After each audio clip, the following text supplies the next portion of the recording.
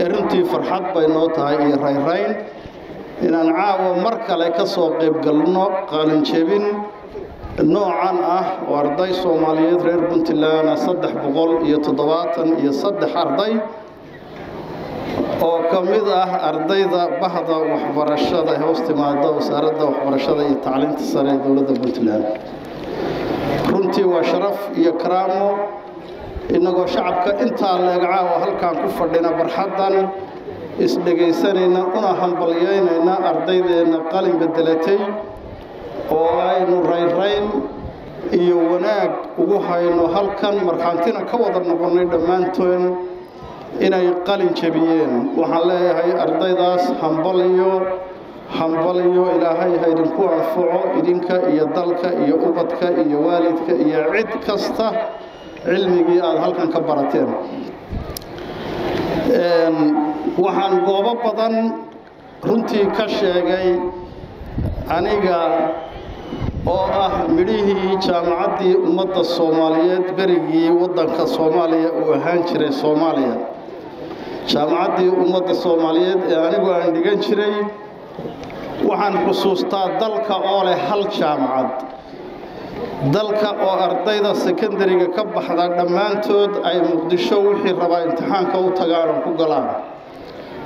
Sanadkii aniga aan qalin jebiyey waxaan xusuustaa tirada guud ee ardaydii xilligaas qalin jebisay wakhtigaygii shan iyo toban kun soomaaliya oo dhan shan iyo toban kun oo arday baanu ahay. Dhibka jiray wuxuu ahaa shan iyo tobankaa kun oo arday placement testiga ama imtixaanka qabuulka jaamacadda waxaa dowladdu oggolayd oo keliya in la qaato kun arday. Waxaad qiyaastaa marka ardayda ka soo qalin jebinaysa dhammaan gobollada soomaaliya oo loogu yeedhay muqdisho imtixaanka qabuulka jaamacadda gelaysa kun arday laga qaadayo.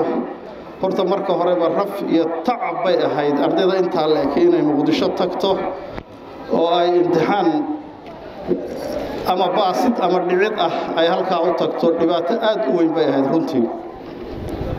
Mararka qaarkood qofka taariikhdaa haya ee hadda aan filayo rag halkan joogaa goobtan fadhiya inay markhaanti ka ahaayeen iyo maanta halka aan joogno soddon iyo laba sano ka bacdi burburkii dowladdii soomaaliya waxbarashada halka ay marayso waxaa laga yaabaa dadka qaarkiis inay yidhaahdaan burburkii dowladdii soomaaliya.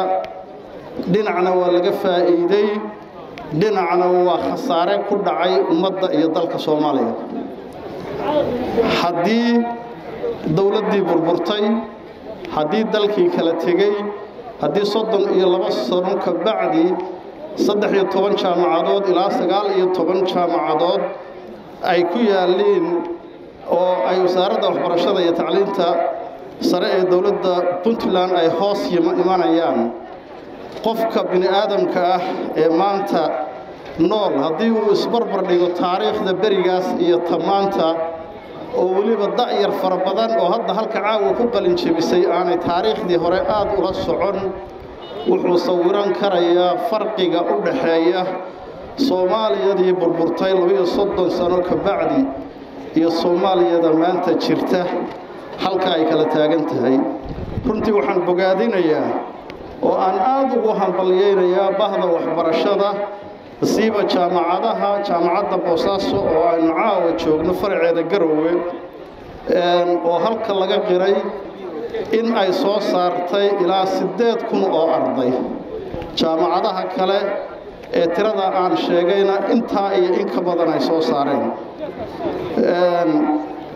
doctoorka wuxuu yidhi waxaad joogtaan dal. Dad u baahan soo saas maha doctore dal dad u baahan. Dadkan aynu soo saarayno oo aqoontooda aynu soo saarayno. Inteenna halkan markhaantiga caawa ka ah kuwa horena aan ka ahayn mustaqbalka dambena aan ka noqon doonno insha allah dhammaanteen waxa waajibku yahay in ay gutaan waxa ay wax u baranayaan fahmaanna fuliyaanna waajibka ka saaran dalkaa dictoorka uu sheegay ka uu yahay. Ani waxaan leeyahay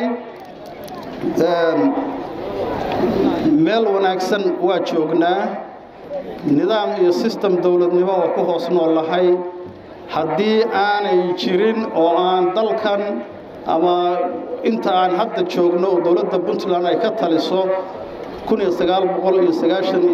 iyo aan laga samayn nidaam dowladnimo iyo sistem aan laga samayn caawa halkanna ma joogneen waxaa tirada badan ee aynu sheegaynona kama sheekayneen qalinjabinaha jaamacadaha iyo dugsiyadeenna ka baxaya ee sannad kasta intaasoo qalinjabin oo ama jaamacad ama dugsi sare ama macaahid ah haddii aynan haysan nidaam dowladnimo iyo is-oggolaansho aan is-oggolnahay runtii ma suuro gasheen. Waa ilaahay mahaddii waxaan leeyahay shacabweynaha puntland anigoo fursaddan uga faa'iidaysanaya waxaan haysanaa nidaam iyo sistem dowladnimo u baahan in la adkeeyo u baahan in lagu naaloodo u baahan runtii in lagu faano kala dambayntaas iyo nidaamkaas.